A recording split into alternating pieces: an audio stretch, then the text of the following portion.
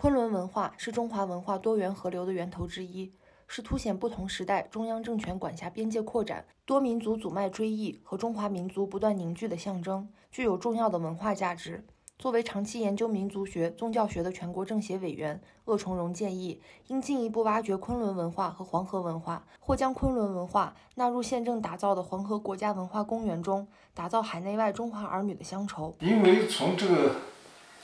历史上以来啊。包括历代的帝王啊，有有有作为的政治家，还有这些诗人啊、文，呃，学者啊等等，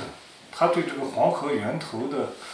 这个追寻啊，他是有一种中华民族的寻根的情节所在。包括在当代海内外的有些华人，包括港澳台的有些啊台胞啊，这些他们纷纷到这个马都啊。还有格尔木啊，都有这种寻根的这种呃势力。正因为就有这种根的这种情节，代代相传，然后我们中华民族也就是这样世代传承而发展的。当然，黄河文化里边也有很多精神啊，包括像黄河一样，它它也懂得柔，当它力量这个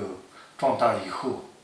那是无坚不摧啊！还有治水文化等等。鄂崇荣表示，黄河流域分布的文化遗产空间跨度大，遗产体量多，地域文化复杂多样，处在系统保护难、统一阐释难、综合利用难等问题。在黄河国家文化公园规划设计中，应更好地把握增进共同性、尊重和包容差异性的辩证统一。处理好黄河流域不同特色文化带之间的承接与兼容，推动沿黄河流域相关的热贡、格萨尔、羌族、河湟、陕北、河洛等文化生态保护实验区与黄河国家文化公园深度衔接和融入，提升咱们青海的这个呃知名度，应该是要有一种全球视野嘛。然后青海不仅仅是在生态、自然生态方面对全国。乃至全世界有影响，还有在这个文化上，也有产生出这种辐射啊影响的这种作用，然后进而呢提升我们青海各族人民的这种文化上的自信，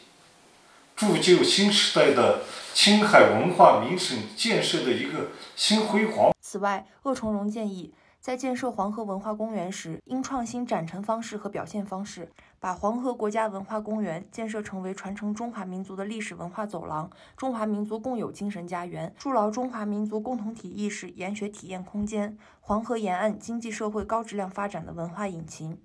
鄂崇荣认为，要支持沿黄九省区共同发起轮流举办世界大河文明论坛、黄河文明国际论坛等研讨会，打造世界大河文明学术文化交流平台。推动黄河文化走出去，将世界著名河流文明引进来，让世界读懂黄河故事，读懂中华文化，读懂中华民族。